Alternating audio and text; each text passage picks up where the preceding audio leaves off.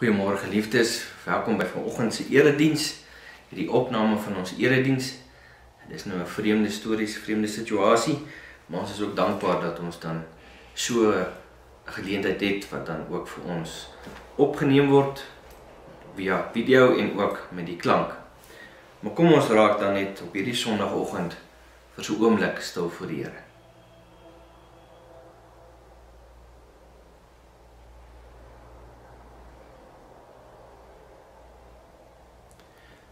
Ek is die eerste en ek is die laaste en buite my is daar geen God nie.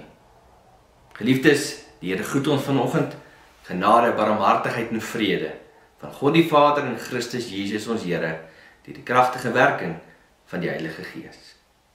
Amen.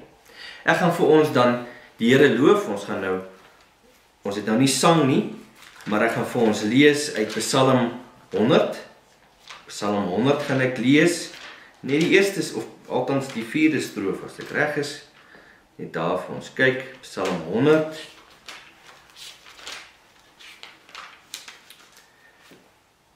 Psalm 100 strofe 1 gaan ek vir ons lees eerder. Juig al wat leef, juig voor die Heer. Dien God met blydskap, gee hom eer. Kom nader voor sy aangesig en prys hom met 'n lofgedig. Ek kan ons maar vers 4 ook lees, want goedertieren is die Heer. Sy goedheid eindig nimmer meer. Sy trou en waarheid hou hul krag tot in die laaste nageslag. So het ons dan ook nou vanoggend die Here geloof en geprys. Ek gaan dan vanoggend vir ons lees uit die wet van die Here uit, soos dit vir ons opgeteken is, die opsomming daarvan in Matteus 22 vers 34 tot 40. Matteus 24 of althans 22 vers 34 tot 40. En toe die fariseërs hoor dat die sadduseërs die mond gestop het, het hulle almal saam vergader. En een van hulle, 'n wetgeleerde, het 'n vraag gestel om hom te versoek en gesê: "Meester, wat is die groot gebod in die wet?" En Jesus antwoord hom: Jy moet die Here jou God lief hê met jou hele hart met jou hele siel en met jou hele verstand. Dit is die eerste en die groot gebod. Die tweede wat hiermee gelyk staan, jy moet jou naaste lief hê soos jouself. Aan hierdie twee gebooie hang die hele wet en die profete. Geliefdes, so hoor ons dit, die wet van die Here, die opsomming daarvan Dit gaan oor liefde tot God en ons naaste. En dis wat ons graag ook met uit veral moet uitleef in hierdie tyd en ook graag wil ervaar vir ander mense af. Waar ons dan ook so alleen is en afgesonder is. En ons gaan ons skuld bely vanoggend en ek gaan dit doen met die lees van strofe of althans Gesang 63 strofe 1. Gesang 63 strofe 1. Diep o God diep neergeboe staan ons voor u hoë reg in volsla onvermoë. Hoe word ooit ons saak besleg waar ons voor u skuldig pleit? O volmaakte heiligheid, werk u met u gees verzoening deur die heiland se voldoening. So bely ons voor die Here vanoggend, Here, ja, ek is skuldig. Ek het die wet oortree, ek het nie liefdevol opgetree teenoor my naaste in hierdie tyd nie. Dit dit ervaar ek en dit bely ek en ook teenoor U het ek gesondig. En so bely ons dan ons skuld vanoggend voor die Here. In Spreuke 28 vers 13 hoor ons hy wat sy oortredinge bedek, sal nie voorspoedig wees nie. Maar hy wat dit bely en laat staan, sal barmhartigheid vind. Glo dit, bely dit en leef ook so in die krag van die Here. Bely jou sonde voor die voor die Here. Lê dit neer en hê hom lief en dien hom en wees aan hom gehoorsaam. Daarin vind 'n mens vrede, rustigheid en ook voorspoed. Kom ons bly ons geloof dan nou saam en ons gaan dit doen met die met die lees van die geloofsbelijdenis van Esia en die spreek in die harte saam met my. Ek glo in een God, die almagtige Vader, die skepper van hemel en aarde en van alle sienlike en onsienlike dinge.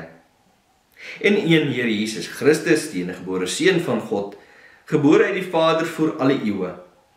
God uit God, lig uit lig, waaragtige God uit waaragtige God, gebore, nie gemaak nie, van dieselfde wese met die Vader, deur wie alle dinge gemaak is. Wat ter wille van ons mense en ons saligheid neergekom het uit die hemel en vlees geword het deur die Heilige Gees uit die maagd Maria en 'n mens geword het. Ook vir ons se kruisige sonder Pontius Pilatus gelei het en begrawe is en op die derde dag opgestaan het volgens die skrifte en opgevaar het na die hemel wat sit aan die regterkant van die Vader en weer sal kom met heerlikheid om te oordeel die lewende en die dode. Wie se ryk geen einde sal hê nie. En in die Heilige Gees wat Here is en lewend maak, wat van die Vader en die Seun uitgaan, wat saam met die Vader en die Seun aanbid en verheerlik word, wat gespreek het deur die profete. En een heilige algemene apostoliese kerk, ek wil hê doop tot vergifnis van sondes en ek verwag die opstanding van die dode en die lewe van die toekomstige eeu. Amen. So het ons dan ook vanoggend ons geloof voor die Here bely. Liefdes, u kan dan die woord oopmaak vanoggend by Josua 1. Ons gaan lees uit Josua 1 vanoggend. Josua 1 Josua 1 vanaf vers 1 tot 9 gaan ons lees. Josua 1 vanaf vers 1 tot 9 gaan ons dan saam lees. Maar voordat ons dan uit die woord van die Here gaan lees, kom ons bid saam. Ons almagtige God en hemelse Vader, dankie dat ons ook so kan rustig raak op so op 'n Sondagoggend voor U kan verskyn. Ja, ongelukkig nie as 'n gemeente saam nie. Ons verlang daarna om as gemeenskap van gelowiges saam te kom. Om U te aanbid, om U te loof om U te prys. Maar so is ons ook gehoorsaam aan die 6ste gebod dat ons wanneer ons sou saamkom dat ons die 6ste gebod sou tree deur iemand anders se lewe in gevaar te stel. Hulle dalk sou siek word of hulle jonk is of oud is, maak nie saak wie nie. Daarom is ons daar ook aan U gehoorsaam om dit nie te doen nie om maar ook vir daai ruk weg te bly. Maar nogtans smag ons daarna, maar dankie ook vir hierdie geleentheid vir die tegnologie wat ons het om dit op te neem of dit nou video is of deur middel van 'n klankopname. Dankie dat ons dit kan doen. Ons ook so die woordverkondiging kan hoor en ook so die kan ervaar dat ons deel is van die erediens alles ons nie saam. En so bid ons ook Here dat hierdie tyd verby sou gaan sodat ons ook weer saam as gelowiges by mekaar kan kom. Dankie dat U met ons was en ook in hierdie week wat verby is dat jy ons beskerm het, behoed, behoed en bewaar het. Ja, die van ons lidmate, die boere wat besig is op die plase en wat toegelaat word en wat wettig kan werk, dan kleed U met hulle sinlik veilig hou. Die van ons wat net vir die nodigste rondry en ook wil rondry, dankie dat U ook met ons is en ons veilig hou en beskerm. Dankie vir ons gesondheid. Dankie vir die krag wat U elke dag vir ons gee. Dankie dat U met ons geliefdes is. En so vra ons dat U ook met die sal wees wat hierdie tyd eensaam is, ons bejaardes wat nie besoekers mag ontvang nie terwyl hulle aan die ou huis is. Wees met hulle, Here. Bemoedig en versterk hulle. Gee dat ons mekaar via telefoon oproepe of boodskappe mekaar se bemoedig. Sy help en sal dra. Dankie dat ons dit kan doen. Here, ons bely skuld voor U waar ons in hierdie tyd teenoor die gesondig het. Oortuig ons o Heilige Gees daarvan dat ons dit voor U sal bely. En dit sal laat staan deur die krag van die Heilige Gees. Waar staan ook nou saam met die woord uit gaan lees, Here, vra ons dat U dit sou seën of verstand sou verlig en sou verhelder. Maar sou na die prediking sal luister, dat dit ons harte sal tref en sou bemoedig word, sal leer, versterk sal word. En dit ons ook sal troos. Dit gaan nie oor ons nie, Here. Dit gaan oor U. Amen. Kom ons lees uit Josua 1 vanaf vers 1 tot 9. En na die dood van Moses, die knegg van die Here, het die Here met Josua die seun van Nun, die dienaar van Moses gespreek en gesê: My knegg Moses is dood. Maak jou dan nou klaar, trek deur hierdie Jordaan, jy en hierdie hele volk, na die land wat ek aan hulle, die kinders van Israel, sal gee. Elke plek waar jy voet so op sal trap, dit gee kan julle soos ek met Moses gespreek het. Van die woestyn en hierdie Libanon af tot by die groot rivier, die Eufraat rivier, die hele land van die Hetiete en tot by die groot see in die weste sal julle grondgebied wees. Niemand sal voor jou stand hou al die dae van jou lewe nie. Soos ek met Moses gewees het, sal ek met jou wees. Ek sal jou nie begewe nie en jou nie verlaat nie. Wees sterk en volmoed, want jy sal hierdie volk die land laat erwe wat ek hulle vaders met 'n eed beloof het om aan hulle te gee. Wees net baie sterk en volmoed om nou gesê te handel volgens die hele wet wat Moses my knegg gee beveel het. Werk nie daarvan regs of links af nie, sodat jy met goeie gevolg kan handel oral waar jy mag gaan. Hierdie wetboek mag nie uit jou mond wyk nie, maar bepeins dit dag en nag sodat jy nou gesed kan handel volgens al alles wat daarin geskrywe staan. Want dan sal jy in jou weë voorspoedig wees en dan sal jy met goeie gevolg handel. Het ek jou nie beveel nie? Wees sterk en volmoed wees nie bevrees of verskrik nie want die Here jou God is met jou oral waar jy heen gaan. Tot sover die woord van Here. Ons gaan vanoggend aan fokus op vers 8 en 9 hierdie wetboek mag nie uit jou mond wyk nie maar bepeins dit dag en nag sodat jy nou geset kan handel volgens alles wat daarin geskrywe staan. Want dan sal jy in jou weë voorspoedig wees en dan sal jy met goeie gevolg handel. Het ek jou nie beveel nie? Wees sterk en volmoed wees nie bevrees of verskrik nie want die Here jou God is met jou oral waar jy heen gaan. Tot sover die woord van die Here. Liewe gemeente van ons Here Jesus Christus Hierdie Sondag beleef ons vreemde omstandighede. Dis nou 10 dae wat ons in ons huise vasgekluister is. Verskriklike gevoel, aardige gevoel. En so dink ons by onsself, is hierdie 21 dae genoeg? Wat voor ons is, sal dit genoeg wees?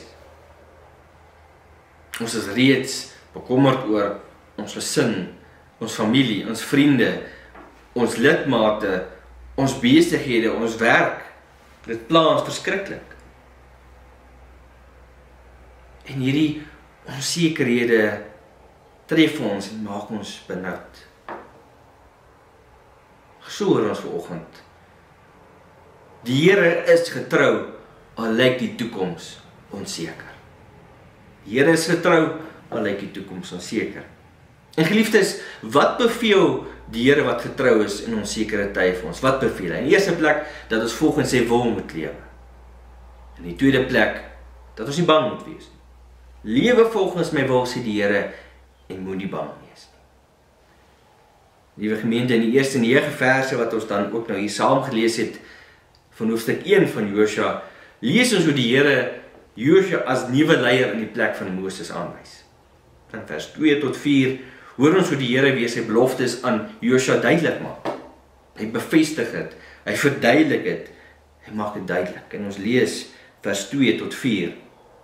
My knegt Moses is dood. Maak dit dan nou klaar. Trek deur hierdie Jordaan, jy en hierdie hele volk na die land wat ek aan hulle, die kinders van Israel sal gee. Elke plek waar jy hulle voet so op sal trap, dit gee kan julle. Soos ek met Moses gespreek het, van die woestyn en hierdie Libanon af tot by die groot rivier, die Eufraat rivier, die hele land van die Hetiete en tot by die groot see in die weste, sy hulle grondgebied wees. Dis 'n groot gebeurtenis vir die volk van Israel. Dis 'n groot gebeurtenis. Hulle staan op die drempel van die beloofde land. Die Here is getrou en hy het hulle daarheen gebring. Hy het hulle tot op daardie plek gebring. Niemand anders nie. Ons kan net osself indink hoe bly en hoe dankbaar moet hulle wees vir hierdie gebeurtenis dat die Here hulle hier uitgebring het.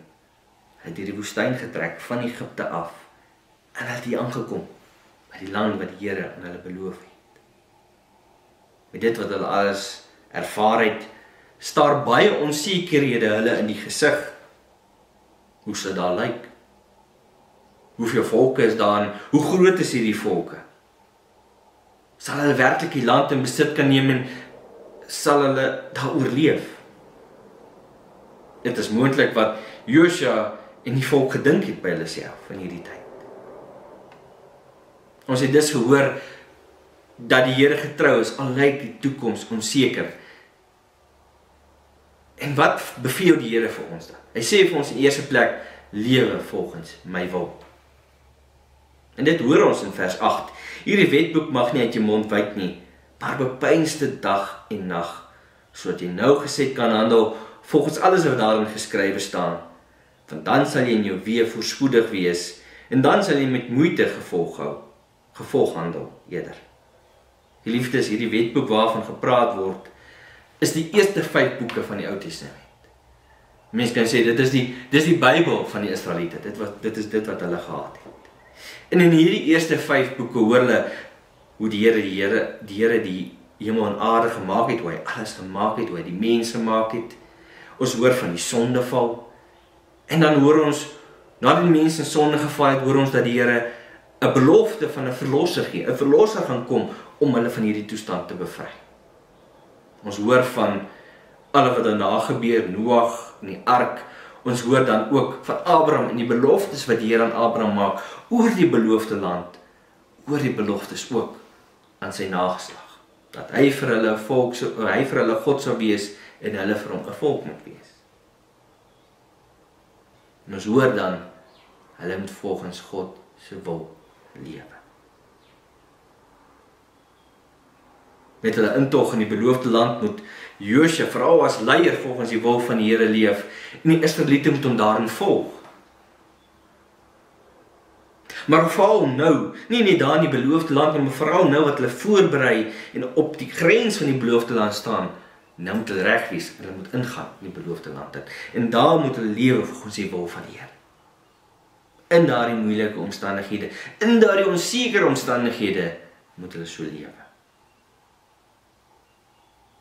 Hulle moet die Here met hulle hele hart, siel, verstand en al hulle krag lief hê en hulle naaste soos hulle self. Sodat die inwoners van die land van Kanaan kan sien maar hierdie mense is anders. Hulle dink dit, hulle tree anders op. Sodat hulle besef kan kom dat die Here ja, Hebreëus Jahwe is die ware God. Die God wat hier ek ook aanbid. En so moet hulle tot geloof kom in die Here en hom ook dien en lief hê. Ja, die omstandighede waarvan ons hier lees verskil van ons. Hier staan die volk Israel op die grens van die beloofde land. Daar's dit, daar's die land. En die Here het dit aan hulle beloof, hulle gaan die land nou binne. Ja, dis meer as 2000 jaar terug as dit nou ons tyd kyk. Baie lank terug. Ander omstandighede. Die Here het hom op daardie stadium net in die volk Israel bekend gemaak. Geen ander volk weet van die ware God nie, net Israel ken hom. Hulle moet oorlog maak, hulle moet die land besit, hulle moet daar lewe. Ja, die beloftes weer van die Here weer galm in hulle ore wat hy aan Abraham gemaak het, maar nogtans is hulle bekommerd, is hulle onseker. Weet hulle nie wat aangaan nie, wat gaan gebeur nie. Wat mag wat mag gebeur en wat kan gebeur? Ons aan die ander kant leef meer as 2000 2000 jaar in die toekoms in tyd wat hulle geleef het. Ons staan nie op die grens van die beloofde land nie. Ons is nie Israel nie, maar ons het ook onsekere omstandighede. Ja, pandemie die hele aarde platgeslaan. Die hele wêreld op sy knieë gebring en ons is bekommerd en onseker oor dinge wat vir ons voorlê. Ja, vir 10 dae is ons nou aan ons huise vasgekluister, ons mag nie ander plekke heen gaan nie en ons is bang wat gaan gebeur. Wat sou van my gesin word? Wat sou van my familie word? Wat sou van my werk word? Wat, sou van die land word? Hoe moet u en ek dan in hierdie onsekere omstandighede optree? Lewe volgens die wil van die Here. Waar die Israeliete net die eerste 5 boeke van van die Ou Testament gehad het, dis die eerste 5 boeke, dis die boeke van Moses. So het ons die hele Bybel. Lewe volgens die wil van die Here. Moenie omdat u nou angstig en bekommerd en onseker is sê ek kan nou maar optree en lewe soos wat ek wil nie. Ek kan dink soos wat ek wil. Ek hoef nie te vertrou nie, ek hoef nie te glo nie. Ek kan ongeduldig raak en beklei en stry van ek is nou bang en onseker. Nee, ons moet nie so optree. Ons moet nie selfsugtig wees nie. En dit sien ons mense wat by die winkels ingaan en die winkels leeg koop. Ons dink nie aan mekaar nie. Nee, is net oor my. Dit gaan net oor my. En so moet dit nie wees nie. Wanneer ons oor die telefoon met iemand praat of boodskappe stuur, moet ons mekaar bemoedig, mekaar help, mekaar dra. Moenie aan ongeduld, irritasie, frustrasie plek gee, vasdra plek gee en sê ek is nou so nou kan ek maar so lewe nou hou ons maar so aan. Nee. Moenie dan vat kans gee nie. Lewe volgens die wil van die Here. Lewe volgens die 10 gebooie. Omdat jy hom liefhet. Wees aan hom gehoorsaam. Omdat hy verlos het. Dien hom. Lewe in die krag van die Heilige Gees. Liefdes en omstandighede waar ons onsself bevind van onsekerheid, bekommernisse oor die toekoms van ons gesin, ons werk, ons familie en vriende, kan ons maklik in die slaghuister van ongehoorsaamheid trap. Jy begin op jouself vertrou, op ander mense vertrou vir die veiligheid, vir die gesondheid, vir die oorlewing. Dit gaan so ver dat alles oor myself gaan en dit net oor my emosies en my bekommernisse gaan en oor niemand anders nie. En dit moet so wees dat wanneer jy optree en ander mense praat en kan sien maar hierdie mense is anders. Hy tree anders op. Hy dink anders as die mense wat om ons is vandag wat paniek saai en bekommernisse aanjag. Lewe dus volgens die wil van die Here. Josua en die volk moet so lewe in onsekere tye. So moes hulle dink, praat en optree volgens die wil van die Here. Maar so hoor hulle ook dat in onsekere omstandighede dat hulle volgens die wil van die Here moet lewe, dat hulle nie bang moet wees nie. Vers 9 hoor ons dit. En dis vir die derde keer wat dit herhaal word. Het ek jou nie beveel nie? Wees sterk en volmoed. Wees nie bevrees of verskrik nie, want die Here jou God is met jou oral waar jy heen gaan hierdie nuwe omstandighede het onbekend wat hulle nou gaan binne gaan hulle die volke moet oorlog maak teen en hulle self dan moet vestig maak hulle bang maar die Here sê moenie bang wees nie kan nie net die ander volke nie maar rowers moordenaars siekte dood wilde diere lê vir hulle voor daar in die nuwe land wat hulle gaan betree dan kan hulle self dink Hoe gaan alles verloop? Hoe gaan alles uitwerk? Gaan ons in die land oorleef? Gaan ons kos hê? Gaan ons klere hê? Al sulke dinge. Ons sou dieselfde gedink het. Ja, hulle hoor die beloftes. En dis so as mense is, ons hoor die beloftes, maar die twyfel is dan nog steeds in ons stryd daarteenoor. Ons hoor weer vers 9. Het ek jou nie beveel nie? Wees sterk en volmoed. Wees nie bevrees of verskrik nie, want die Here jou God is met jou oral waar jy heen gaan. En net paar verse voor vers 9 hoor ons in vers 5 hoe die Here weer aan Josua beloof dat hy met hom sal wees. Hy sal hom nooit verlaat nie. Hy sal nooit begewe nie. Soos hy met Moses was, so sal hy met hom wees. Hy sal hom lei, hy sal hom dra, hy sal hom krag gee. Ons moet dink dit is al wat die Here vir Josua gesê het, hoor ons weer in vers 6. Wees sterk en volmoed want jy sal hierdie volk die land laat erwe wat ek hulle vaders met 'n eed beloof het om aan hulle te gee. Hoor die beloftes van die Here. Die Here is getrou. Hy het aan hulle voorgeslagte die belofte gemaak dat die land van die Kanaaniete sal sal inneem. Hy sal dit aan hulle gee, ja, die land wat oorloop van melk en honing. Met hierdie woorde kweek dit 'n besef by Joshua en die volk dat hulle nie bang moet wees nie. Hulle hoef nie bang te wees nie. En so ook nie ons nie. Die Here is die getroue God. Ons is bang oor die dinge wat vir ons voorlê in hierdie week. In die weke wat kom, in die maand, in die maande wat kom. Is bang jy word as gevolg van die virus siek. Is bang hierdie hele inperkingstyd wat ons insit gaan die besigheid platslaan, heeltemal platslaan. Finansiëel gaan ons moontlik swaar kry. As jy vra oor ons kinders se skooljaar, vir die matriekouers en matrieks is dit 'n verskriklike storie want dis onsekerheid en moeilike omstandighede wat hulle nou ervaar. Gaan hulle skooljaar klaarmaak? Moet hulle weer matriek oordoen? Wat gaan gebeur?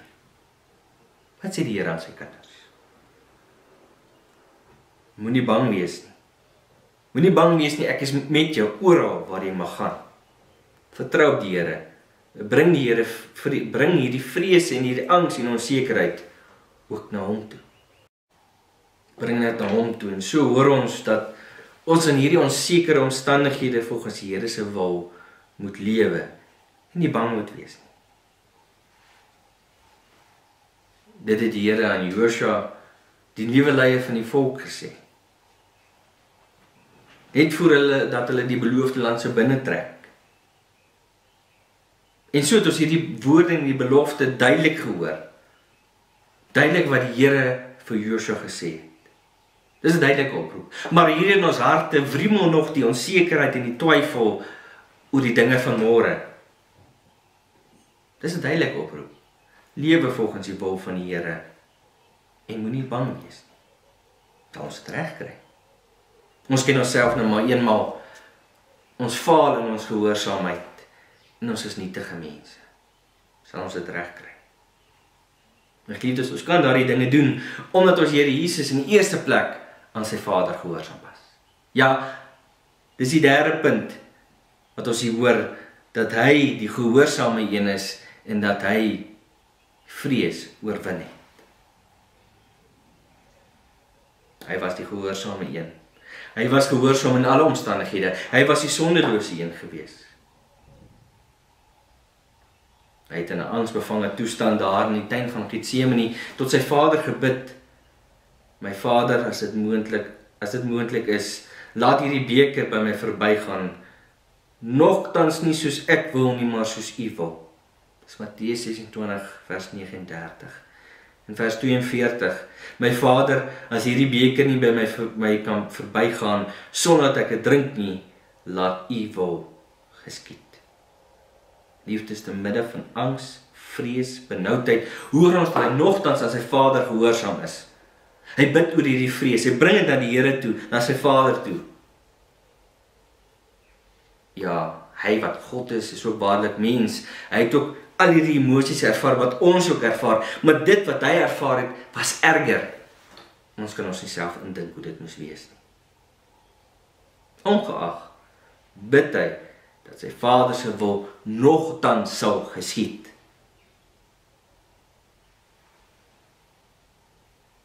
Daar was hy ten volle aan sy Vader gehoorsaam. Omdat die Here Jesus aan sy Vader gehoorsaam is en hom liefgehad het met sy hele hart en sy hele wese, kan u ook die Here ten volle gehoorsaam wees. Dan kan u in moeilike omstandighede vra, wat is die Here se wil? Hoe moet ek optree in hierdie tyd? En jy hoor dit in die woord hoe jy moet optree volgens die 10 gebooie. Jy moet hom lief hê en hom dien. Jy moenie bang wees nie. Daardie beloftes is reg hierdie Bybel. Leef elke oomblik in die krag van die Heilige Gees in die gehoorsaamheid van ons Here Jesus Christus. Net soos ons wat die realiteite van ons omstandighede raak sien en bang is en onseker is, so het hy ook angs en bekommernis ervaar daar in die tuin van Getsemane. Maar aan die kruis was hy heeltemal verlate. Sy God het hom verlaat dat hy uitgeroep het: "My God, my God, waarom het U my verlaat?" Die Vader het hom verlaat, het hom begewe. En die verlatendheid is deel van die straf op die sonde. Ons hoor dat die straf op die sonde die dood is, maar die verlatendheid is deel daarvan om tot in ewigheid van God af weg te wees in die hel. Ons Here Jesus het dit ervaar aan die kruis. Hy het die dood uit opgestaan en so het die angs en die dood en die vrees en die verlatendheid oorwin. Daarom hoef jy nie bang te wees nie. Jy is nie verlate nie. En daarom is die Here met u. Hy is met u waar u ook al mag gaan. Ek sluit af, liewe gemeente. Ons bevind onsself in 'n ongewone tyd. Ons is 'n skip wat op onbekende waters vaar. Ja, nes Josua en die volk van ouds ervaar ons onsekerheid, bekommernisse, angs, magteloosheid en so voort. Die omstandighede tussen ons en hulle is groot. Die verskille is groot let op die grens van die beloofde land gestaan. Hulle as die volk Israel meer as 2000 jaar terug. Die Here het dit aan hulle beloof. Die Here het net aan hom homself aan hulle bekend gemaak. Ons weet 2000 meer as 2000 jaar in die toekoms ervaar aan omstandighede, omstandighede van 'n pandemie. Siekte wat ons tref en ons is onseker en ons is bang. En hierdie pandemie bring die wêreld op sy knieë. Maar die oproep van die Here vir Josua en vir ons, ons wat sy kinders is, is dat hy die getroue een is in ons sekere tye. En hy sê vir ons eerste plek lewe volgens my wil. Moenie ewe skielik anders lewe en optree omdat ons omstandighede anders is of moeilik is nie. Nee, lewe nog steeds volgens sy wil. Hê hom lief en dien hom vol harte in die geloof. Tweedens moenie bang wees nie. Ons as mens beleef nog bekommernisse en angs en vrees en siekte en lyding al hierdie dinge op aarde as gevolg van die sondeval. En wanneer ons hierdie week kom sal dit weg wees. Ons ervaar dit. Maar moenie bang wees nie. Moenie bang wees nie. Vertrou op die Here. Hy sorg nog altyd vir u en hy sal ook in die toekoms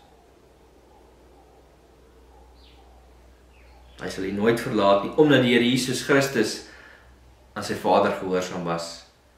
Omdat ook deur sy kruisdood en opstanding uit die dood ook die verlatenheid en die vrees oorwin het. Amen. Kom ons bid saam.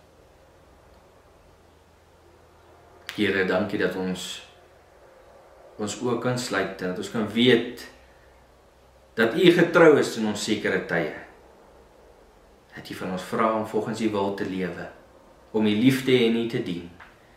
Gee ons die krag deur die Heilige Gees om dit ook te doen, om dit te wil doen. Want hy uit ons eie krag kan ons dit nie doen nie. Ja, Here, ons ken nie die toekoms nie. En daarom kan ons maklik ongehoorsaam wees. Op onsself vertrou, op ander vertrou, sonder skoester en aanhelp. Here gee ons deur die krag van die Heilige Gees die vermoë om dit ook af te lê, te groei in die geloof en die liefde vir U. Help ons om nie bang te wees nie, Here. Ons as mense wat ook nie die toekoms ken nie, is ons seker is bang wat gaan gebeur, wat gaan my gesin gebeur, my familie, my vriende, my medegelowiges my werk, my besigheid, die land. Waarheen, hoe nou? Gee dit ons op U se vertrou, Here. Gee ons nie bang se wees, Here Jesus Christus, U het daardie verlatendheid en angs ervaar. U het gesterwe en opgestaan uit die dode om ook dit te oorwin.